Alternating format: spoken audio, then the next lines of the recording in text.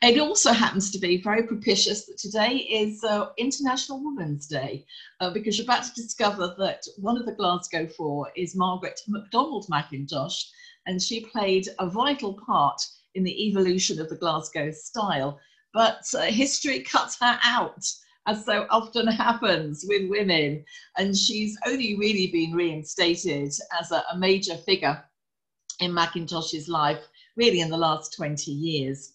Uh, so if you want to ask me anything about recent books, please do feel free at the end. So there are their birth and death dates. So Mackintosh, as you can see, uh, was no no real age, not by our standards, when he died. He was only in his only he was only sixty, and Margaret was a little older than him when they married, but she didn't outlive him uh, by very long. This is obviously a, a, very sad tale in terms of Mackintosh's reputation, because when he died, the uh, when she died, I should say, the total contents of the flat that they lived in uh, was valued at 80 pounds, and that included all of his watercolors uh, from Walberswick, his watercolors that he painted at Port-Vendres in the south of France, and of course, those famous iconic chairs. So the whole lot only valued at 80 pounds. This is just to remind you that Mackintosh's reputation was stratospheric in his own lifetime, completely fell into obs obscurity, and then his reputation was really only revived in the 1950s by Professor Howarth and as far as the general public really only revived when Glasgow was made cultural city, European cultural city at the end of the 1990s. Okay. Uh, so what was Glasgow like on the eve of the 20th century? Well, it was dirty, but it was also very rich. So just to remind you that there's a lot of rivalry between Edinburgh, uh, Athens of the north. Uh, we've got a lovely view from Calton Hill out over Edinburgh. And it was, of course, home to all the major institutions the National Gallery and the Academy. And there, by comparison, is uh, Glasgow, uh, the Clyde, shipbuilding, dirty, uh, polluted, think of those white rooms, uh, but also very rich. But the money was important because it meant that there were lots of patrons in Glasgow. And as was the, the general case in the 19th century, if you made money, you wanted to put it into art. Um, it was partly status, but it was also this idea uh, that you could move through the higher echelons of society if one became involved with the arts. Glasgow was desperate to put itself on the cultural, cultural map, uh, you know, comparing itself to Edinburgh. And it held a big international exhibition in uh, Glasgow at the end of the 1880s. So you might think that this is a painting of Kelvingrove Art Gallery. It does look very similar in the heart of Glasgow, but in fact it's one of the temporary buildings created for the International Glasgow exhibition. It's by Sir John Lavery, and you might think it should really be by James McNeill Whistler. Lavery was very influenced by Whistler at this point in his career. But Lavery was one of the Glasgow boys who had been working tirelessly, really, uh, throughout the 1880s to put Glasgow onto the artistic scene. So, uh, reminding ourselves that Mackintosh is technically part of the Art Nouveau movement, uh, these two images uh, obviously are rather shocking. On the left-hand side, we have the first Art Nouveau building, well, often said to be the first Art Nouveau building in the world. This is the L'Hotel Tassel in Brussels, and it dates to 1893. And as you can see, it's a riot of curvilinear ornamentation a lot of people will tell you that Mackintosh didn't like Art Nouveau. By that, they are referring to the brand of Art Nouveau that we associate very much with Horta in Brussels and Hector Guimard in Paris. He found it too overly decorated. His own brand of Art Nouveau was very different and was informed, on the one hand, by his love of all things Japanese, and also, of course, by the English arts and crafts movement. So it may come as a shock to you to realize that these two extremes of Horta in Brussels and Mackintosh in Glasgow are both defined as being part of the Art Nouveau movement. A vital element within Art Nouveau was the idea that the architect was now in charge of the entire environment. This is known as a Gesamtkunstwerk, a very complicated German word, uh, which basically means that a home was now a total art work. So Madame van der Velde, who you see here, has been beautifully attired to match the interiors created by her own husband, Henri van der Velde, who was also one of the major figures in the Art Nouveau movement um, in Belgium. So she's been coordinated to match the two prints on the wall. In fact, they're two watercolours on the wall uh, by her artistic husband. The problem now is she's rather trapped in a gilded cage. Um, she harmonises beautifully with her drawing room, but might well be a discord if she tries to move anywhere else. The important thing is that you can really see Madame van der Velde as a bit of a victim in the sense that she's wearing a dress designed by her husband to match his interiors. The same cannot be said of Margaret MacDonald Mackintosh. She married Mac uh, in 1900. So we see her here, sat in front of that cabinet, uh, which was to be found in their Mains Street flat in Glasgow. Margaret was very much a new woman. Uh, you see her here in a dress that she designed and made herself. And the panels on the cabinet behind her were also designed and made by her as she had a thorough artistic training at the Glasgow School of Art. So you don't need to see her as a victim of the high art movement. She was very much, she very much had agency in terms of her lifestyle and also in terms of her dress and the interior decor that she and Mackintosh created first in their flat and then in their home in Hillhead. So I've already mentioned that the aesthetic that we need to think about in terms of Mackintosh's style is not the curvilinear ornamentation that we saw uh, courtesy of Horta in Brussels, but his love of all things Japanese. His cabinets, like the famous one that you see here, designed for the Hill House, and recently recovered, by the way, uh, bought uh, with uh, money from the National Trust and the Art Fund. So you're seeing it in situ um, in Hill House, which is in Helensburgh and it's sort of shared between there and the main gallery in Kel at Kelvingrove in Glasgow. So you can see that it looks rather like a woman in a kimono with her arms outstretched. So for obvious reasons, they are often referred to as kimono cabinets. In this instance, the decorative panel in the centre is attributed to Mackintosh, but it was often Margaret that supplied the decorative elements on these rather stark uh, geometric ca cabinets.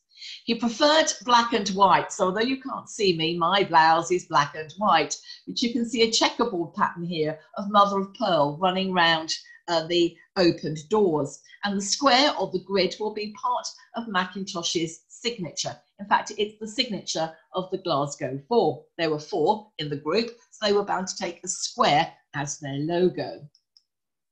This is just to remind you that throughout the 19th century, there's been a huge interest in what is known as Japanism, ever since Japan was opened up to the West in the early 1850s. This is actually Madame Monet, painted by her husband Claude Monet in the mid 1870s. And the most obvious Japanese element here are the paper fans in the background. It's rather like an algorithm uh, going through the 19th century with another sort of peak in the 1890s if you know a little bit about Aubrey Beardsley, you'll know that he was very much influenced by the Japanese prints. This kimono cabinet is by E.W. Godwin. It's in the V&A, and we believe that it was designed as early as the late 1860s, but it was put into production in 1877.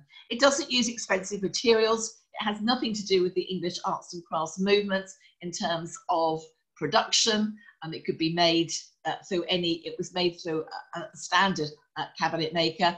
But most importantly, you can see against this theme of the kimono cabinet. And this whole movement is known as the Anglo-Japanese movement, or in this case, Anglo-Japanese furniture. In Glasgow, there was a particular interest in all things Japanese because, believe it or not, they were building the Japanese fleet on the Clyde. I mentioned the Glasgow Boys. There were many of them. Lavery was only one. But two other members of the Glasgow Boys went to Japan. They went to Tokyo in 1893. This is Atkinson Hornel and uh, uh, Henry. So the uh, portrait at the top is by Atkinson Hornel, and he was painting in a style that I think you'll agree uh, was rather like uh, Vincent van Gogh has gone to Japan. And then George Henry, who's down the bottom, his Japanese lady with a fan. And it always looks to me like the fan has become something akin uh, to a painter's palette. And when Henry and Hornel returned from Japan in the mid 1890s, their works were displayed in uh, Glasgow, in one of the most prestigious commercial art galleries there. And so it wasn't difficult for Mackintosh to find out about Japanese prints or the impact of Japanese prints on contemporary uh, Glaswegian art. So that perhaps helps to explain the cool, minimalist character of his interiors. More straight lines than curved lines, and definitely the Japanese ethos that less is more. Over the mantelpiece here is a wonderful gesso or gesso uh, panel by Margaret. So you can see that Margaret's decoration played an integral part in Mackintosh's design ethos. He also liked to completely, you know, um, mix and match black and white. So we've got black furniture in a white interior. Remember how dirty Glasgow was at the end of the 19th century. It's just as well that he was able to deal with electric lights rather than gas. Mackintosh's style evolves very quickly, considering that his career really only spans some 20 years. From the eight, late 1890s, the famous Glasgow School of Art was conceived in 1897 to when he left Glasgow on the eve of the First World War. He moves from very uh, overt, organic, rather Art Nouveau uh, forms, seen here in a domino table, uh, designed for one of Miss Cranston's tea rooms. And the idea was that you, you hid your dominoes and then you brought them out to play them on the top. And that dates to 1880, 1898, it was for Argyle Street. But we can compare it to the one from Ingram, Ingram Street, which was some 10 years uh, later in date. And you can see that all the curves have disappeared to become very rigorously geometric. It's got a, a circle on the top and then four squares underneath and the four squares definitely becomes the Glasgow 4 logo. You'll meet the Glasgow 4, all of them, in just a minute. Mackintosh uh, was very well read. He knew all about the English arts and crafts movements. And uh, William Lethaby, who was the author of Architecture, Mysticism and Myth, well, this was a book that was very well known to the young Mackintosh. We actually know that he paraphrased it for a lecture in 1893. So he was very familiar with progressive elements in British architecture. But perhaps what may surprise you is that Mackintosh was very keen to make his buildings meaningful in terms not only of their decoration, but even their forms. Because Lethaby practiced the idea of symbolic architectural forms. Hence, on the frontispiece to his book, we have the circle and the square. The circle always represents spirit, as in a halo. The square always represents earth, as in four square. And then the image uh, in the middle, uh, the ziggurat, literally can embody the idea of one steps to heaven. So if we look at the door to the library of the School of Art, I'm not going to show you any since it was destroyed by fire uh, because that's just too upsetting. The first fire was in 2014, but we've had another one since. In fact, in the very year that it was supposed to reopen to celebrate his centenary, 2018. Uh, but you can see here the library entrance uses the idea of a ziggurat. In fact, many of his entrances look more like the entrances to temples than to houses. And uh, at the end of the lecture, we'll end up at Derngate, 78 Derngate, his only major project south of the border in Northampton, where again you can see he's reprising the idea of the ziggurat and the, uh, the concept of steps to heaven. It also looks rather Chinese uh, because the, uh, his design ethos was shifting at Derngate to what is almost Art Deco in terms of its preference for geometric forms and straight lines. So if we were able to go around the School of Art, we would have seen these uh, tile elements set into the walls. As you can see, this is all about the grid. And it was from Lethaby that he got the idea of the square and the grid and four square. And this, of course, relates to the fact that there were four in the Glasgow Four, Mackintosh and McNair, and then the two MacDonald girls. And uh, the idea of Lethaby's book was he went back to look at the roots of architecture. He studied temples, both in the New World and the Old, and he maintained that you could distill architecture down into vital forms, one of them, of course, being the square and the other the circle. So here at last are the four. Uh, they obviously had intimations of their immortality as they actually christened themselves the Immortals. So looking at the photograph at the top, uh, this is Frances MacDonald, her sister Margaret. This is Agnes Ray. Hang on, I've got to get, go up one. Uh, this is Mark. So this is Catherine uh, Cameron, and then Janet Aitken, and then Agnes Raeburn, and then Jessie Keppie, who, again, a bit of an urban myth, we're always told that this is the woman he should have married. And this is John Keppie, as in Honeyman and Keppie, uh, because Mackintosh was articled at a young age to an architectural office, Honeyman and Keppie. So he and McNair, who we see in the front here, this is McNair, this is Mackintosh, and we're, they're diametrically opposed here on my side. So McNair and Mackintosh were both articled at the same time to Honeyman and Keppie, and were having a formal training to become architects. Mackintosh did not come from a particularly artistic background. Um, his father was in the police force, but really as a pen pusher. And so you have the usual descriptions of his childhood, you know, in the sense that he preferred to be out and about drawing uh, rather than in the classroom. But there's no, he's not, he's not from a major sort of artistic family. Uh, the two girls, Margaret and Frances, they were from a nice middle class background. They were attending the Glasgow School of Arts uh, during the day. So remembering that the two boys were going to evening classes to improve their uh, uh, prospects, they probably would not have met each other if they hadn't have been put together by Francis Newbery, who was the head of the Glasgow School of Art. Remembering that it's Women's International Women's Day, it is this big breakthrough in education that is such a turning point for women at the end of the 1890s. And the Glasgow School of Art was particularly liberal uh, in its promotion of women taking up arts as a profession. So the School of Art was to become a, almost a, a manifesto for Mackintosh's way of thinking. All the decoration on the building is meaningful. It's like a, a temple, really, to the production of art. When you look, walk along the front, you'll see these rather strange symbols. Uh, they are derived from Japanese heraldic devices. There's a bird, and oh, there's, on, there's a bat, and then there's a bee, and this is an ant. And the ants and all these animals are supposed to represent the idea of work, that you are an art worker. And they all have little uh, clumps of flowers, in case you're wondering what these are, around their bases. Because, of course, when you go into the School of Art, you grow as a person and as an artist. The windows of the School of Art, it's, it's a big studio building, they face north, they're very large, and these uh, strange elements here were braces, but also the window cleaner could put his uh, plank across uh, to keep the windows clean. As you can see, each brace is a little four square and a flower grows out of each one because you go into the School of Art, a little seed, and you come out a fully formed flower.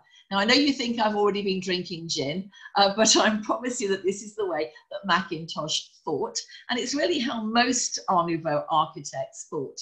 They wanted their patterns and their decoration to be meaningful. Here at the end of the so-called hen run, you can see that the grid actually dominates and even casts a shadow of the grid um, on the floor. So when we start to look at his uh, design for a very unusual poster, as you can see here, you can see all these elements coming together. Mackintosh didn't differentiate between the high arts and the decorative arts. It was just art. Everything was to be a unity. Again, this was very much the way that all architects and designers thought at the end of the 19th century. So these are our strange Japanese heraldic devices. Here is our woman in the center to represent creativity. And the birds, of course, are to represent song because this is the Scottish Musical Review. And this is quite a radical design for a poster. And many people were quite affronted by the Glasgow uh, style. So they nicknamed it the Spook School. People complained that they were too influenced by the disembodied figures of Aubrey Beardsley. So this is a close-up of that cabinet that we saw at the beginning uh, with these elongated ladies. They're basically dresses and heads. Uh, the one over here was even more alarming in the sense that this is yonic symbolism. You might have heard of phallic symbolism, but yonic is probably new to you. It's the idea of using female genitalia for its symbolic power. Uh, so we have a woman here who is in the womb and she has like ear, well, they're like ears to either side or fallopian tubes uh, with the babies. And the idea here is that this is not just about motherhood, but about women as cre a creative life force in the world more generally. I should like to point out at this moment that Margaret and Mackintosh had no children of their own, which was not of their own making, and Frances and Herbert McNair, who married in 1899, only had one child. Mackintosh's style is even more skeletal. This is uh, the decoration of one of his uh, cabinets from the mid 1890s. And they were all thinking along very similar lines, as you can see from this book plate that's designed uh, with the two, by the two girls and Frances McNair. In fact, Frances McNair's signature can be seen right down the bottom. But it seems to echo more overtly um, the motifs, in fact, of the two girls. Again, this could be seen as yonic symbolism. Uh, this is the one that's actually by Margaret uh, MacDonald, and you can see this synergy between all of their work. This is a stylized uh, tree of knowledge. These are apples, the children at the base of the tree. It's this idea really of creativity and motherhood and nurturing that they're trying to put over. And again, you remember that this is supposed to be a, a book plate, an ex libris. So I've mentioned Beardsley a couple of times. It's just to remind you of his very distinctive black and white style. This is 1894 in date, and uh, uh, the, uh, the project was Oscar Wilde's at Salome. We're looking here at John the Baptist and Salome, although you might not think that that's the way that many people would conceive John the Baptist, just back from obviously Versace and suffering from a bad hair day. There were many people that felt that Beardsley's art was thoroughly subversive. Uh, but he was a huge influence on the Spook School. So here for comparison is a poster by Charles Rennie Mackintosh. You can see how he's signed it vertically in the Japanese style. And again, this is one of those stylized uh, Japanese heraldic devices. That's Margaret uh, modeling for the Glasgow Institute of Fine Arts. And this is uh, same date, a poster by the three of them. So again, it's just to to emphasize how very much this was seen to be a collaboration uh, between the four. So this is signed Frances, uh, Herbert and Margaret MacDonald. And again, you could read into this yonic symbolism, the idea again of creativity and fertility with the goddess here protecting the maiden who represents regeneration and the life force. And these uh, posters went off to be shown in the famous Maison L'Art Nouveau at Samuel Bing's prestigious art gallery, which opened in 1895 and gave the entire movement L'Art Nouveau its name. So uh, for the uh, unsuspecting, uh, the work of the Glasgow girls can be rather shocking. So here, for instance, is The Pond by Frances. The idea is the pond has gone to sleep, it's November, and will reawaken in the spring. These are tadpoles, but we could read them as sperm if we wanted to. I'll show you why in just a minute. And on this side by Margaret, this is Summer, which was a design for a stained glass window. Again, it's the idea of rejuvenation, which they loved. We're in the fin de siècle, remember, so we're imagining that the world, or I should say the century is dying and is about to be renewed. So they were bound to be influenced by the great symbolists of their generation. So I've mentioned Beardsley. This is Edvard Munch. His famous Madonna had already uh, created a sensation um, in Berlin. Um, it's uh, again an image of motherhood with a fetus down the bottom and little sperm swimming around the outside of the frame. Yes, as I said, the idea really was to the shock of the new in the 1890s. And next to it by Jan Toorop, which who we know was a huge influence on the Glasgow girls. He's, by the way, a Dutch artist who was born in Java. But you can see here all these stylized roses, which will become one of the emblems of the Glasgow school. The three brides showed a nun, a good bride, a romantic bride in the centre, and a witch at the end. Uh, remember, in the fantasy, de women are either very good or very bad. So if I was going to pick out one element really to exemplify the Glasgow style, it would be the Glasgow rose. And they all used it. So it's not a question of, of sort of picking out the girls and saying they had their own symbolic language. uh, the rose was used by them all. So this is Margaret's The Heart of the Rose, where the baby appears to be coming out of a womb. This is the Spirit of the Rose, same idea, but that's by Frances. And this down the bottom, designed for the Rose Boudoir in 1902, is Charles Rennie Mackintosh, who also used the same stylized rose for the Willow Tea Rooms. And then finally, down the bottom, as late as 1923, and therefore almost Art Deco in terms of its styling, we have a wallpaper rose and teardrop. So the rose was um, to represent again this idea of creativity, uh, was the heart of the rose, literally, was was the womb. But the womb was this idea again that uh, you know women are the life force uh, in nature. Mackintosh's early commissions are not that uh, groundbreaking. Uh, Queen's Cross Church, late, uh, as you can see, 1890s, shows an obvious debt to his trip around England, visiting Porlock in Somerset and Devon.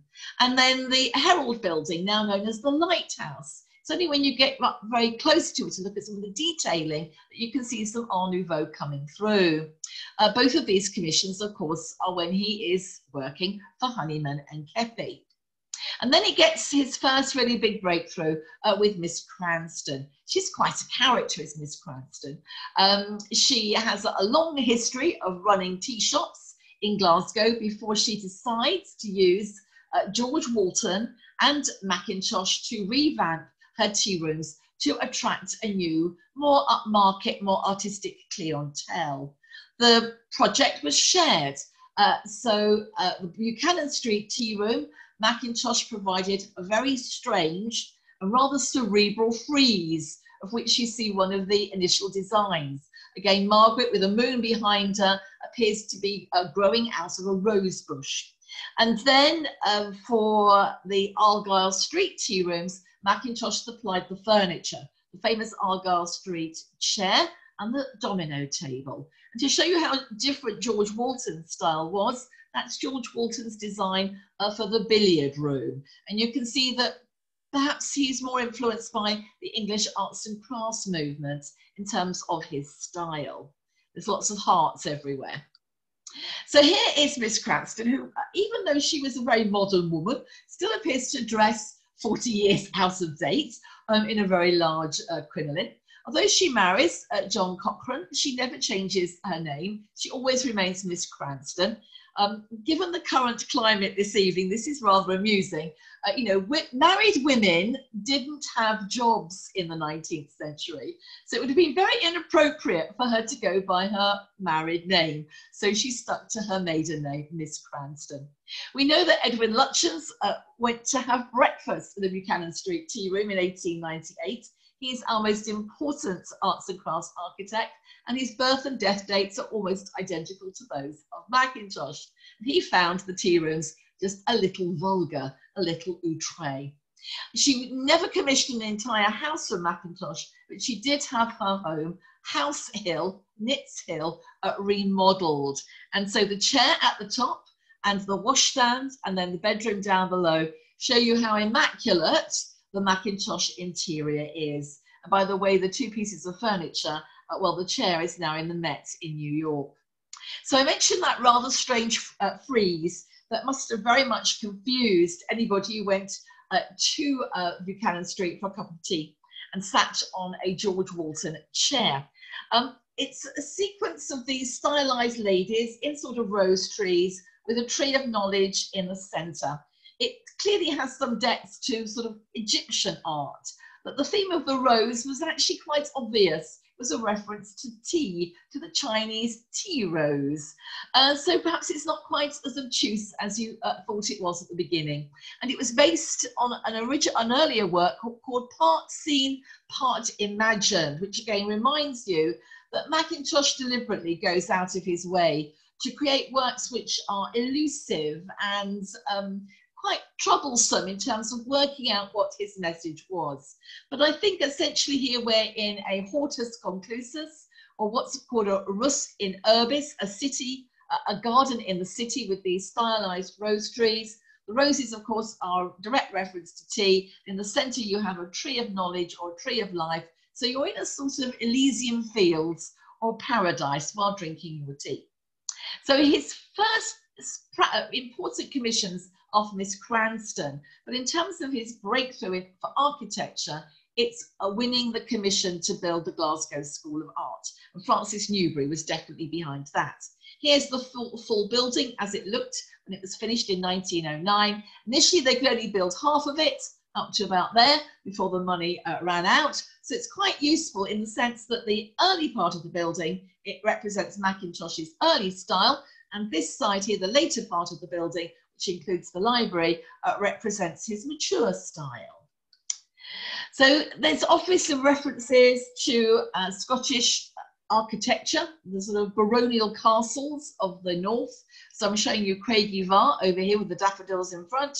And you can see here a parapet and a turret. So there's clear references as Lethaby advised to look at one's native vernacular forms, building in local materials and using local styles. If we have a closer look at the main entrance, there's this very strange light fitting, this lamp here, which takes us up to the door with its two rather beautiful stylized ladies over the portal. It is like entering a temple. And again, they represent the theme of creativity. They're holding plants or even flowers in their hands. And there's a stylized rose tree in the center with a very large bulb or root at the base. So you go into this temple of arts as a sort of fledgling and you come out fully formed. And the tree was a very, again, potent symbol for Glasgow and Mackintosh because it's one of the emblems of St Mungo, the bird and the tree of St Mungo, the patron saint of the city. Coming back down to the door, the other interesting thing to look at is the calligraphy. So you can see the very unusual way uh, that he uh, draws a letter A and a letter H with three bars it clearly has uh, mystical significance as it's the Trinity, God the Father, God the Son, and God the Holy Ghost. And then the plaque with the, uh, you know, the, the, the, number for the Glasgow School, the address on it here, we have four squares by four squares. Uh, and so they loved the, uh, this idea again of numeric symbolism. The heart of the building was the museum uh, where they drew from plaster casts and you can see here that he's actually carved hearts um, into the roof structure, again to emphasize the sort of communal heart of the building.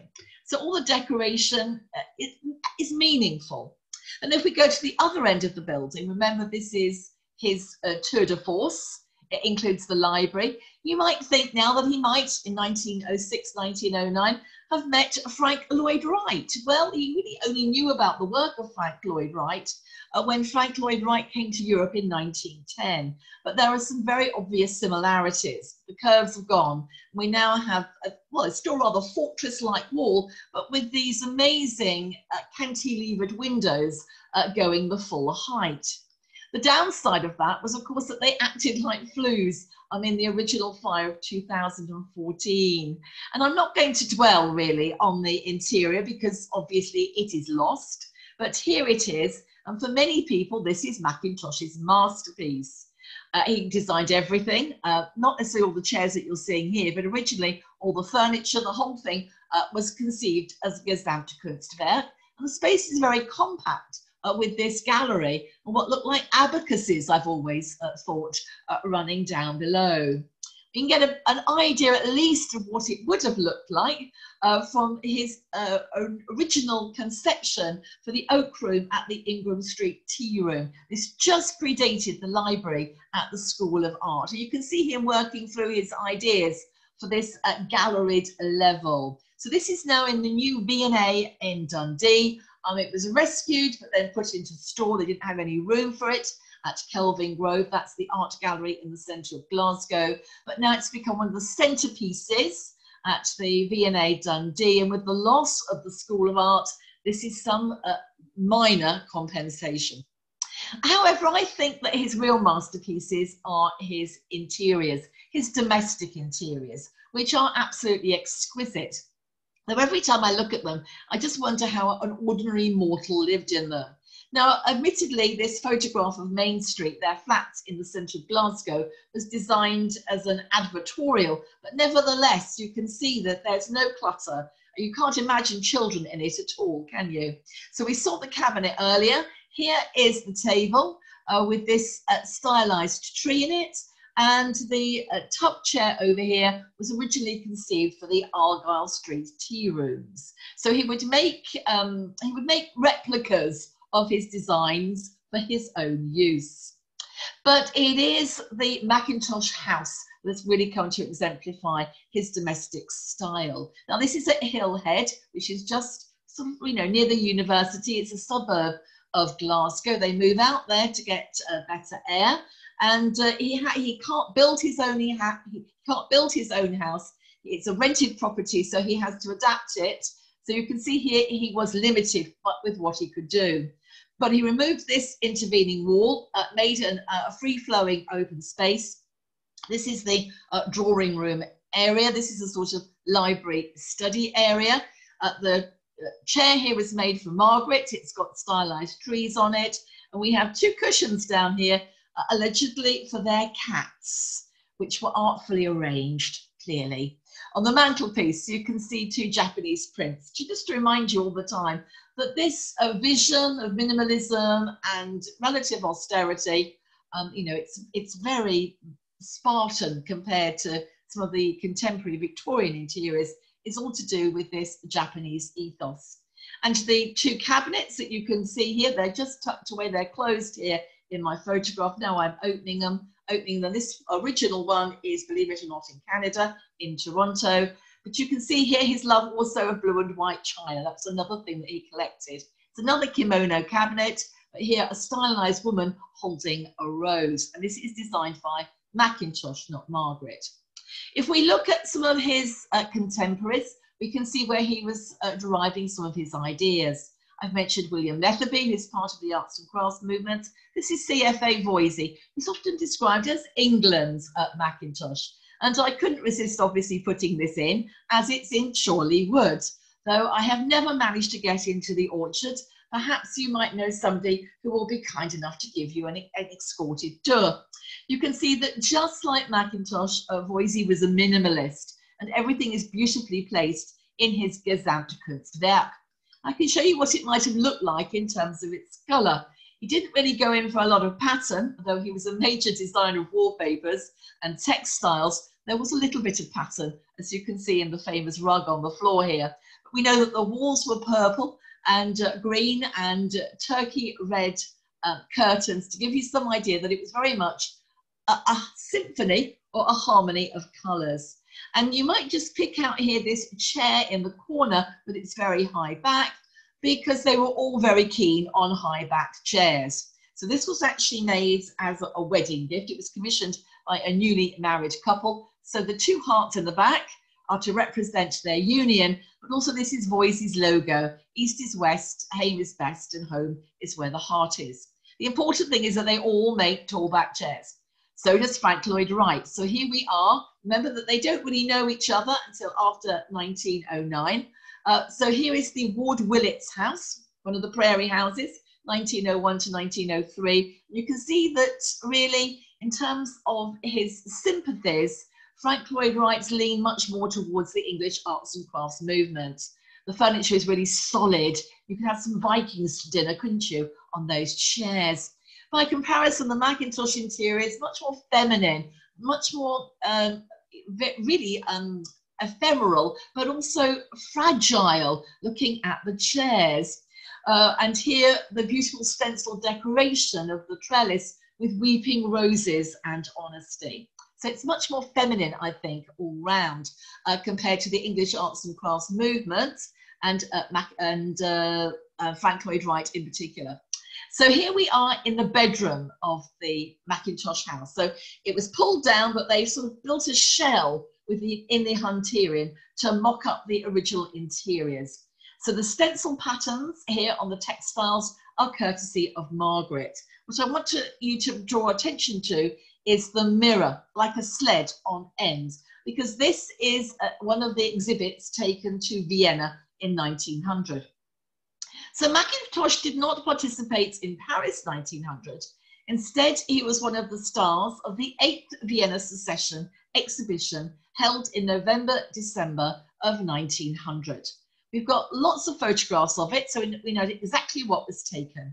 So here in gesso, this type of fine plasterwork, which is then um, decorated with semi-precious stones, shells, and other, again, rather ephemeral, ephemeral um, elements. This is Margaret's contribution, as are the banners. This is the Argyle Street chair. That's There's the mirror that we've just been looking at, and a clock in the corner, which was also uh, actually probably a joint project between Frances and Margaret MacDonald. They're just about to marry their respective uh, spouses. So here are the banners that have been reconstructed. And again, you can perhaps see the all-seeing eyes give them an Egyptian flavour, but they are very much influenced by Beardsley.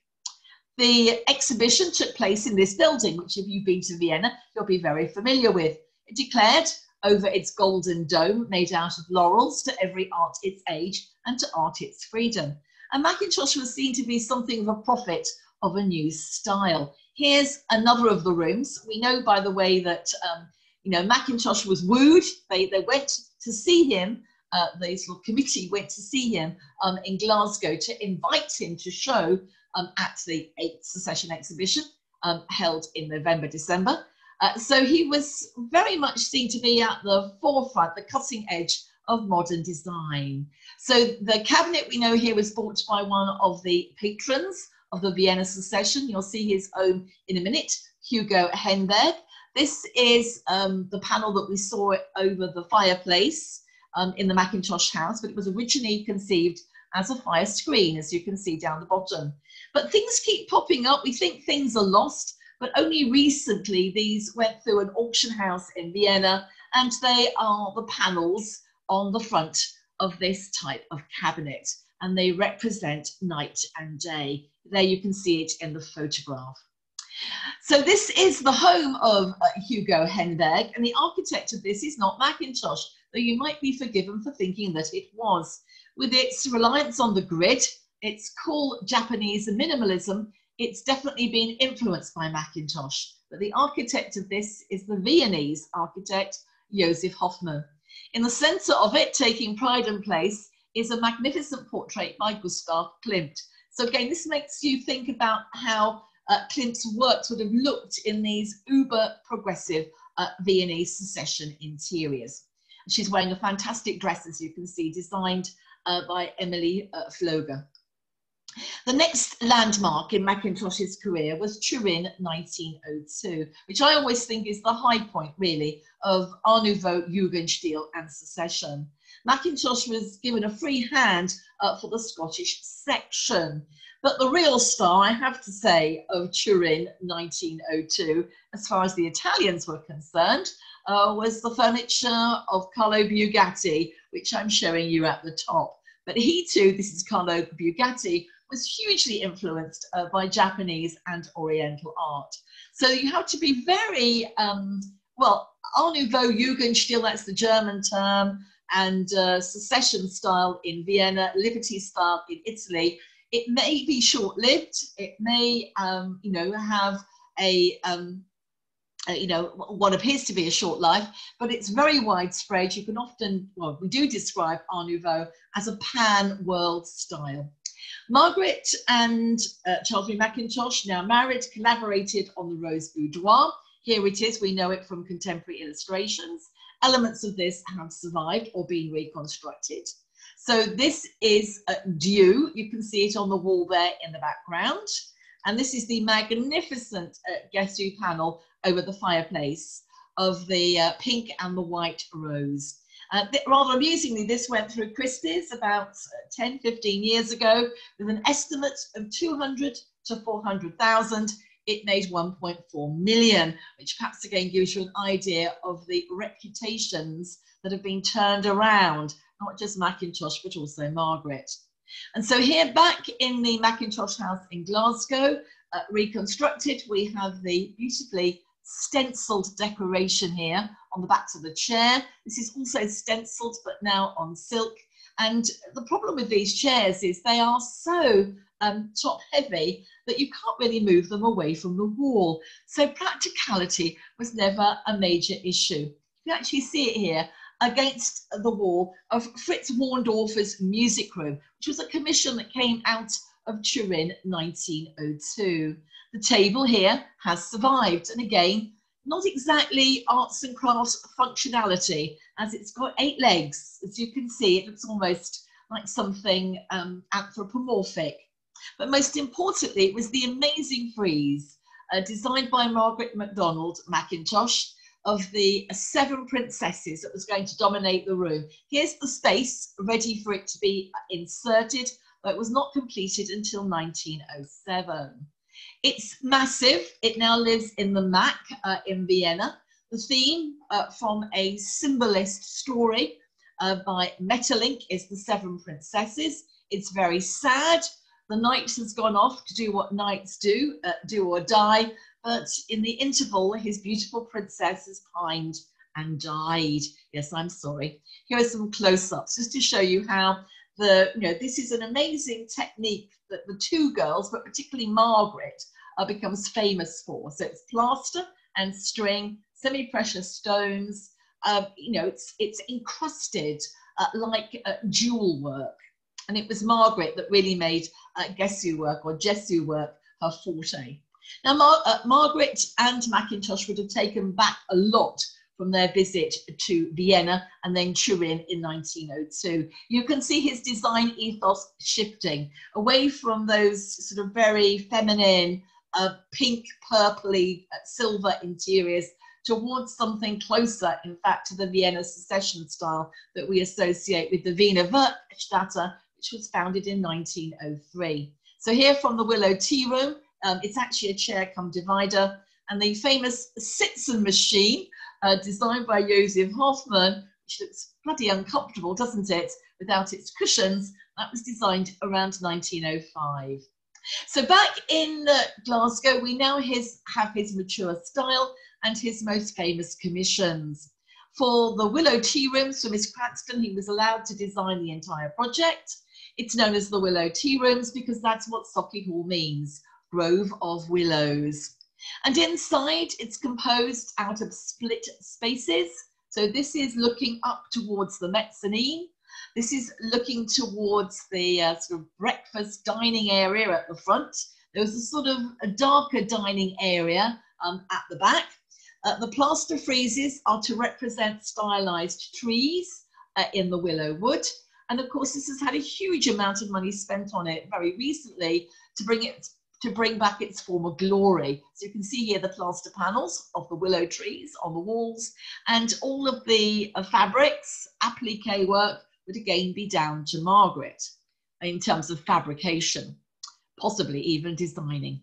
So here we are on the mezzanine. You can see here an interesting use again of uh, Japanese uh, design features, the roof in particular. And that takes us into the so-called room deluxe, where originally there was a large gesso panel by uh, Margaret uh, entitled Oh Ye, All Ye That Walk in the Willow Wood, which is a poem of, uh, by Dante Gabriel Rossetti. Again, this is to really emphasize that his interiors are never really practical. Uh, beautiful mirrored glass, exquisite colors, purples and pinks, but really aluminium painted chairs. Um, this is all about the look rather than the practicality. His most spectacular piece of, but is it stained glass? It's more like Tiffany glass. I prefer to call this leaded glass uh, for obvious reasons, both the frieze and the door itself, which you can see here in situ, but the original is now so, so valuable, it's displayed as a work of art in its own right.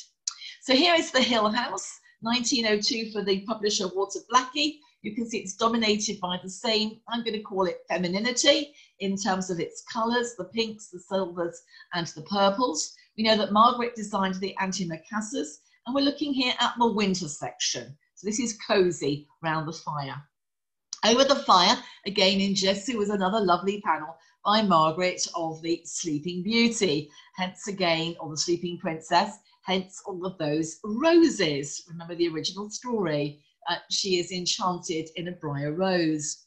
The conservatory element here was the summer area. You can see again now restored uh, by the National Trust uh, that Margaret would have been very much responsible for all the soft furnishings. And then in the corner, there's a place for a piano. So Mackintosh doesn't really think vertically, he thinks horizontally. And he's thought about the functionality of the room with a summer area, a winter area, and an area for music with the piano.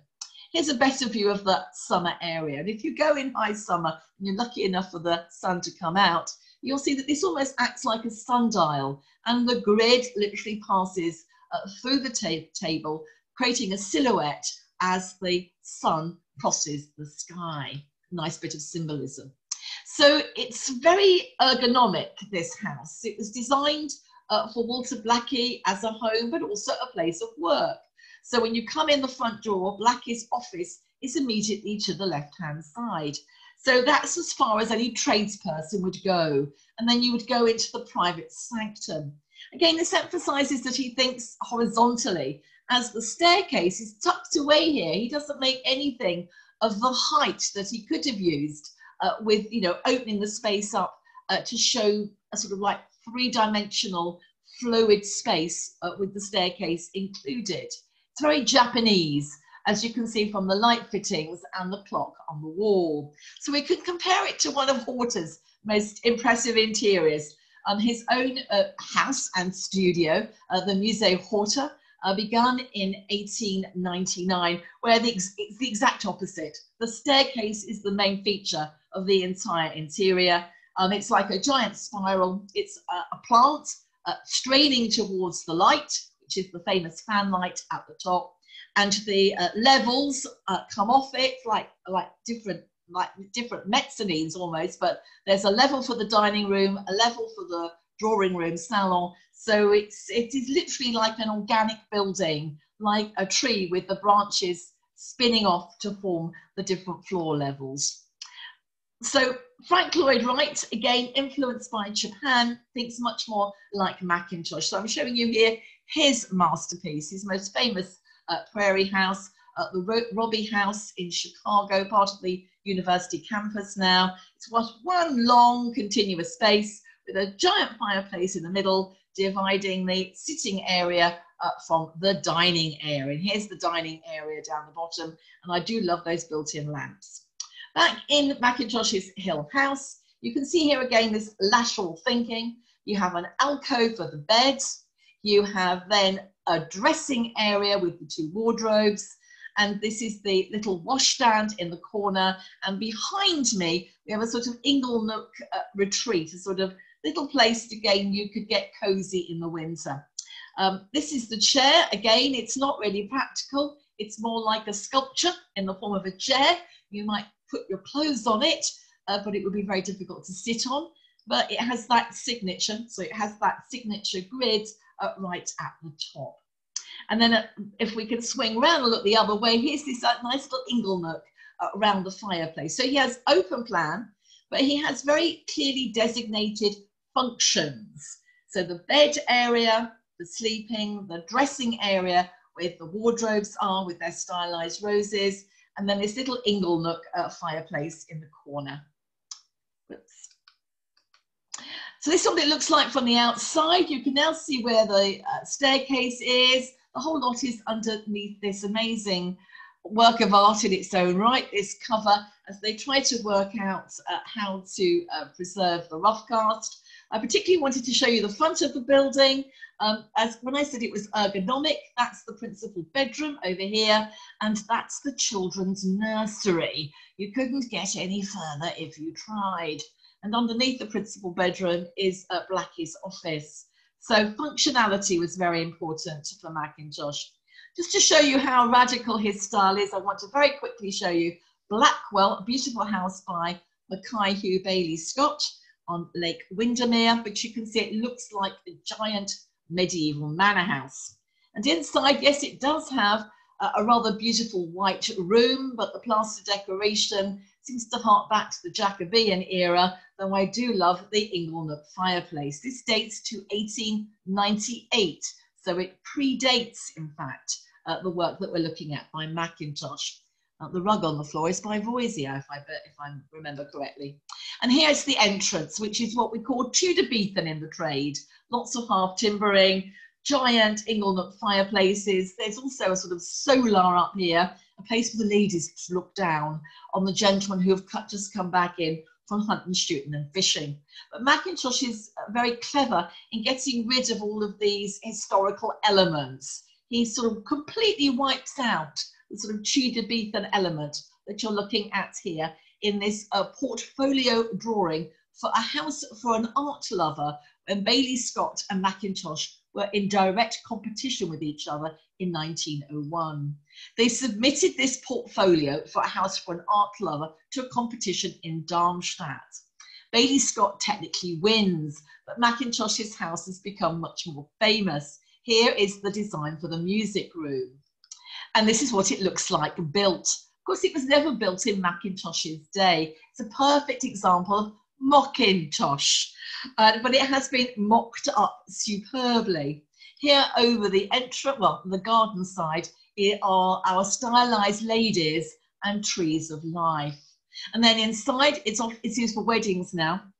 It's currently owned by the University of uh, Glasgow. It's part of the Glasgow School of Art, I should say. So we're looking here towards uh, the far end where the fireplace is and little built-in cabinets. And then flipping round we'll show you the ends uh, with the organ. So you can imagine how people want to get married there. Uh, and again, it's like Hill House. It's all sort of lovely pastel shades, pinks and purples. The dining room is darker in all of these Victorian houses, or in this case, Edwardian house. Uh, interior, the male area, the dining room is always darker. The female drawing room is always lighter. And uh, they've gone to great pains here in the reconstruction, or I should say, the sort of um, Mockintosh element, these rather beautiful uh, panels again uh, in the style of Margaret. And they run, as you can see, in the panelling around the wall. So by this stage, Mackintosh's career is going absolutely nowhere. It's as though he's already, I'm afraid, out of favour uh, with uh, his contemporary patrons. He has one last uh, major public commission. Um, he's now um, a partner in Honeyman and Keppie. So this is between 1904 and 1906 and is the Scotland Street School, a tree of life again, being an obvious decorative element. He also gets a, a tea room commission from Miss Cranston, a refit of Ingram Street in 1911, where with the barrel chair and the interior and that chair at the top, you can particularly see the interest in the influence of China rather than Japan. And he uh, submits a design for the cathedral in Liverpool. So imagine what Liverpool would be like with a Mackintosh cathedral and how many tourists they would get. It's uh, Giles Gilbert Scott that gets the commission, but this is more salt in Mackintosh's wound. In this portrait here, he's showing in his hand the design for the School of Art. So by 1914, Mackintosh, his hopes are dashed he might have taken up drink, we're not sure. But in order to recover his health, it is suggested that Margaret and Mackintosh go to Walberswick on the Suffolk coast.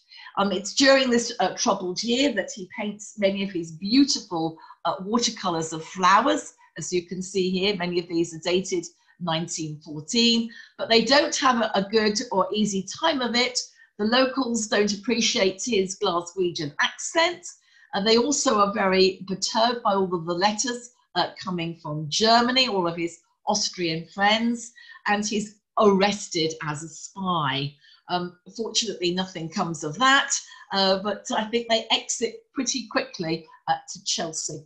So his last project from his Chelsea years is 78 Derngate uh, for Bassett Loke, who does not make toys. I should point that out straight away. Um, he makes models and was very successful. He was very progressive. He was a member of the Design and Industries Association, and he wanted a very modern house. However, we are now in the war years, so he didn't want to be too ostentatious. Uh, uh, is in effect a, a wedding present, and it's this little tiny house that you see here in this terrace in Northampton. And the door is a reproduction. I'm going to show you the original. Hang on, right, will come. Here it is, the original, which is now part of the museum exhibit. Yes, the, the lamp and the stained glass and the knocker are too valuable to be left out of doors.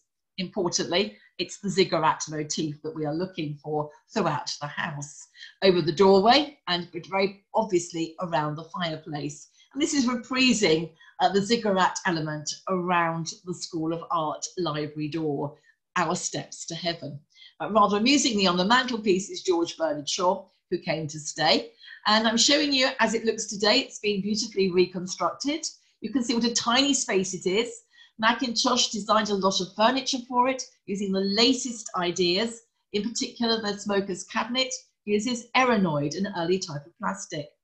Mrs. Bassett-Lowke really did not like the colour scheme. It was too dark and it was changed to this, though I think you'll agree it's equally bold in its use of colour. And here is the smoker's cabinet. And here is the famous clock designed for Derngate, which I think you would very likely describe as Art Deco.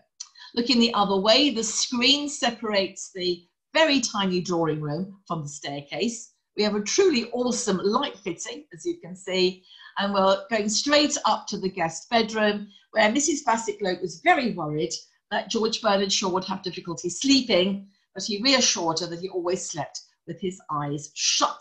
So hopefully those uh, psychedelic black and white lines were not to prove too difficult for him. Uh, the domino clock was probably made for this room and was one of Mackintosh's last designs. We're, we're back where we uh, started with the domino table uh, for Argyle Street. It's a very clever design with each one of the numerals, as you can see, a domino.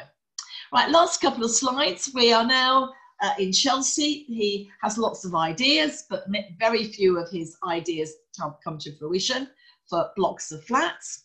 He designs one last element for Miss Cranston, again in Derngate style, very bold colours, known as the Dugout, that's 1917. And on Glebe Place, his last architectural project, this very modest house, which has been much altered over the years.